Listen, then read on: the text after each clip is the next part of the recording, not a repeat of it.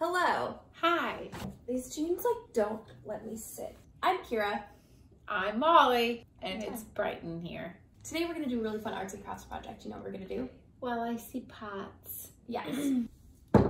Oh, These aren't they're not stretchy jeans. When we did our potting our rubber plant uh, a few weeks ago, I mentioned that this was actually a fresh terracotta pot. This It's a very actually was a fresh terracotta pot and I wanted it to look dirty. So I soaked it in garden lime and I took a the outside Sander. is one thing. The inside Doesn't it is look cool? If you want to see a video on how I make my fresh terracotta pots look like The cool inside is what's. let us know in the comments and I will make one. Two whole people commented that they wanted to see my my This is a very, very highly sought after video. Thank you for commenting on our video. and um now this is just for you and anyone else This is for you. who wants to hear it.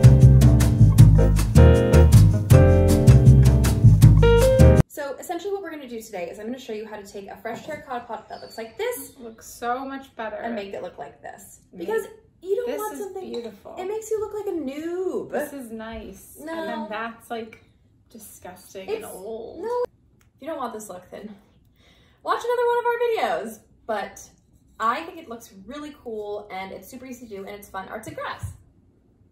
I'll be the judge of that. Okay, cool. So here's what you need. Obviously, you need your pots. So I got a bunch of these little pots at Home Depot the other day because I'm going to do a big repotting. People can see you now. I'm just doing some things. First, what you need is obviously the terracottas. Probably you would want to peel off these stickers off camera. We're gonna lay down our newspaper because Molly is very good about keeping this apartment clean. I am not, and I'm trying to be better. We have this big bag of garden lime. Garden lime is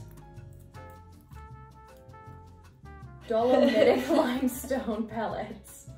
I actually didn't, Yeah, what is it? I don't know exactly what it is, to be honest. We recommend wearing gardening gloves while using this product. So, Where are our gloves? okay, here are your plastic bags for your paws.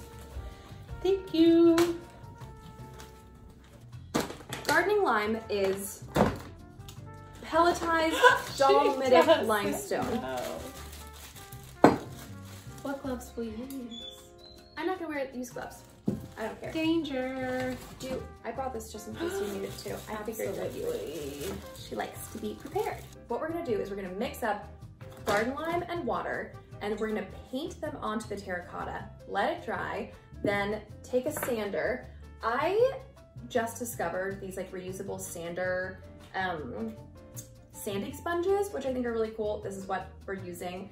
You can also just use a regular sander, like a little one like this, put your sandpaper on it. Then what we're gonna do is once the lime is dry, it's gonna be sort of this coating of mud, How long does it take to dry? like 10 minutes.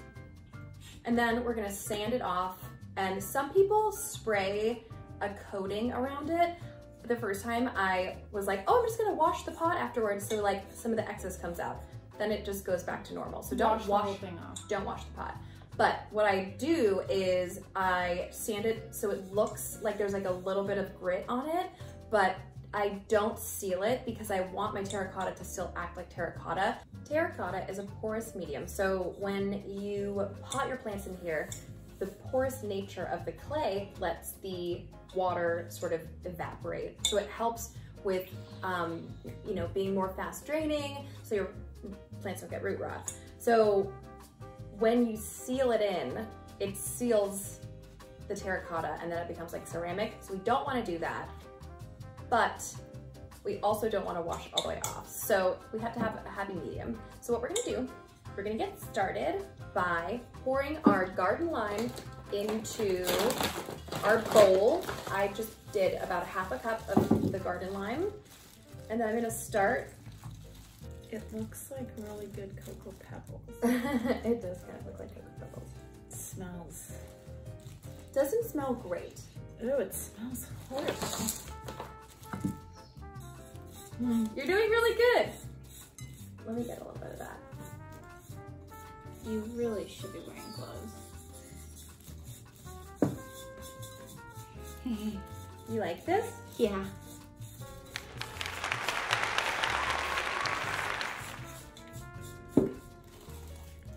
Very thin layer because you're gonna sand it off and you don't want it to be too thick. So this is what we're working with. Looks like this. And now we're waiting for it to dry. Grab your sponge or sander, depending on what you have. And this is the final step. You just literally will start sanding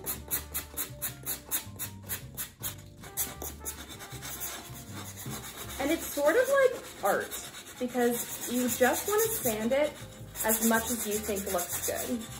What if you don't think it looks good? Well, that's up to you and that's okay. And you're just doing me a favor by doing one for. Basically what you're doing is you're just sanding off all of the extra lines. You're gonna leave little bits and pieces where the terracotta pokes through. You're gonna leave some pieces where there's more lime. Interesting. I should have put my gloves on. Okay, that's mine. Good job. Do you like mine? I do. You like mine? Yeah, yours is nice. Mhm. Molly has chosen to leave on all of her lime. I've taken off most of mine so you can see a little bit what the difference looks like here.